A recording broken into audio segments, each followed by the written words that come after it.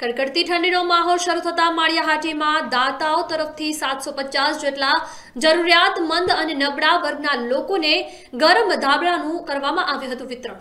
ત્યારે હાલ શિયાળાનો માહોલ છે અને એમાં પણ અમુક વિસ્તારમાં કમોસમી વરસાદ પડ્યો હતો. જેથી થોડા સમયથી કડકતી ઠંડી શરૂ થઈ છે. ત્યારે માળિયાહાટીમાં આશીર્વાદ ચેરિટેબલ ટ્રસ્ટના નેજા નીચે સાતસો પચાસથી પણ વધારે આર્થિક રીતે નબળા, જરૂરી અને જરૂરિયાતમંદ નબળા પરિવારોને સુનિધિ આભાબેન આર શેઠ સહિતના દાતાઓ તરફથી લોકોને ઠંડીથી પોતાનું તથા પોતાના બાળકોનો બચાવ થાય તે માટે ધારાસભ્ય ભગવાનજીભાઈ કરગઠિયા અને લક્ષ્મણભાઈ યાદવ તથા મહેન્દ્રભાઈ ગાંધી સહિતના આગેવાનોના વરદ હસ્તે ગરમ ધાબળાનું વિતરણ કરવામાં આવ્યું હતું. ત્યારે મોટી સંખ્યામાં આર્થિક રીતે નબળા વર્ગના લોકોએ લાભ લીધો હતો અને આ પ્રસંગે સેવાભાવી કાર્યકરો સહિતના કાર્યકરોએ પોતાની સેવાઓ આપી હતી. પરેશ વાડિયા સાથે light twenty four news Junagadh.